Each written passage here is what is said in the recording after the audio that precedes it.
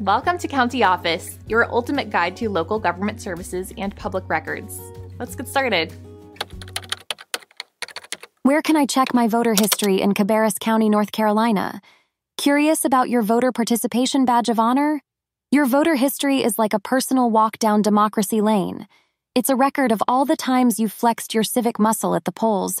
In Cabarrus County, North Carolina, checking this history is easier than finding a needle in a, well, a needle case.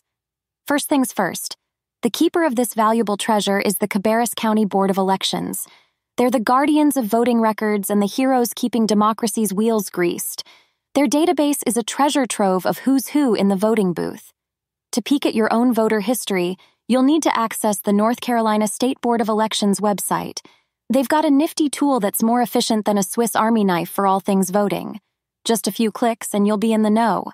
You'll need your first and last name at least. Knowing your date of birth could also help narrow down the search, just like a detective hot on the case. Once you've entered your details, the system will display a list of voters that match. Select your name and voila, your voter history will pop up faster than popcorn in a microwave. You'll see all the elections you've participated in. It's like a stroll down memory lane, but with ballots instead of photographs. Remember, this information is public record. It's as open as a book on a library shelf, ready for you to peruse. So go ahead, take pride in your civic engagement, and check out your voting track record.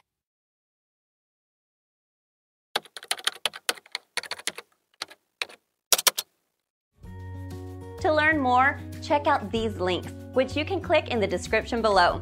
And feel free to comment your questions. We're here to help. Thanks for tuning in to our video. Please like and subscribe and leave a comment below. See you in the next video.